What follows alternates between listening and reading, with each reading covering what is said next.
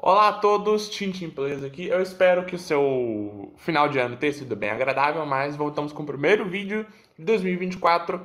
Sim, hoje estamos com mais do Pro, outro deck profile, e hoje vai ser a vez de Lightstorm. Sim, Lightstorm teve mais suporte, né? A gente tem dois monstros no main deck novo, dois monstros no extra deck novo e uma trap. Mas qual é a finalidade dessa trap? A mim, é muito boa, é uma trap excelente. Um, Lightstorm consertaram alguns problemas, consertaram alguns problemas. Are you sure about that?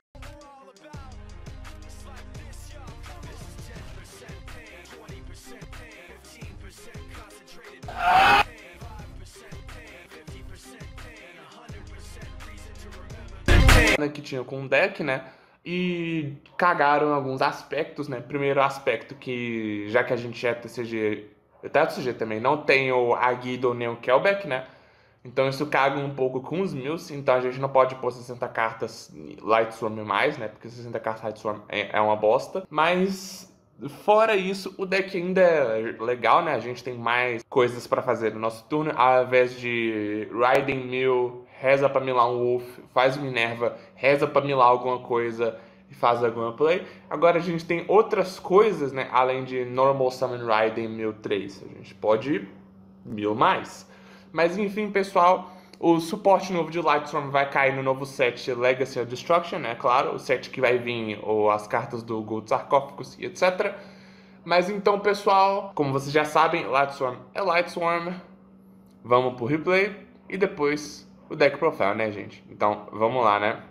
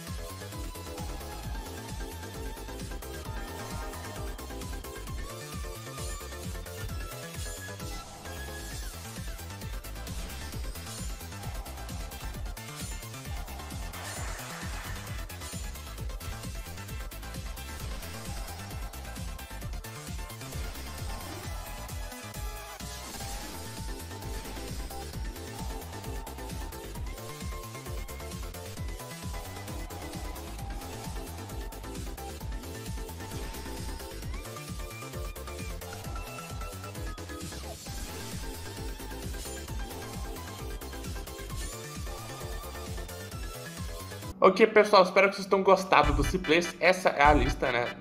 40 cartas. Não é 40 cartas, é 47 dessa vez, né? Pode pôr 50, mas eu prefiro 47, tá? Um, enfim, a gente está aqui né, com a nossa lista, né? A gente vai estar tá rodando a coisa nova do formato, né? Que é três crossout, uma call by, três upstart e uma draw lockbird. Você obviamente já sabe o porquê, né? Mas então, vamos lá pelo card por card, né? Por favor, temos um Punishment Dragon e o JD, né? Tem que ter um dos dois, né? Antes era um só, agora é os dois, né? Um, por causa que o, o Punishment Dragon só serve para estar no cemitério e o JD é o mais fácil de invocar, né? Porque é só quatro Light Swarms. Esse aqui, ao invés de quatro Banish Light Swarms, né? Então fica um pouco estranho. Temos três Lubellions, dois Druids, um Magnamut, três Saunir, um Ball, um Baldric, Baldric sempre bom. Um, três sempre voltar na sua mão e três também voltar na sua mão. E além disso, a gente tem três Dryden e o novo monstro, né? Três cópias de Dragon of, the, uh, Dragon of Lightstorm, é um monstro nível 4 não tuner. Que caso você tenha um monstro Lightstorm no seu cemitério, você pode invocar esse card especialmente da sua mão de graça, né? E se esse card é Special Summon, né? Você pode milar qualquer Lightstorm do deck pro cemitério. Ou seja, você pode procar o seu, seu, seu Ferris e o seu Wolf, assim, com mais facilidade. E também o nosso novo monstro que eu vou falar agora, que é o Vice, aquele cara do Final Fantasy que é muito gostoso. A gente tá rodando três cópias do Vice, né? Vice é um nível 4 Tuner, Find, né? Você pode, você pode pegar um monstro Lightstorm da sua mão, você vai revelar ele e vai colocar ele no topo do seu deck, daí você vai invocar o Wise, e quando você invoca o Wise, você vai milar dois cards, ou seja, você vai sempre garantir milar o que você colocou no topo do seu deck, e mais alguma coisa. Ou seja, se tiver Wise mais Wolf, você pode... é uma carta Ciclo 8, né? Você, Wise revela o Wolf, você faz um Synchro 8 ou um Rank 4, né, de graça, com uma carta só e sem usar Normal Summon, incrível. Aí você pode, sei lá, dedicar sua Normal Summon pra a Lumina, né, fazer alguma coisa.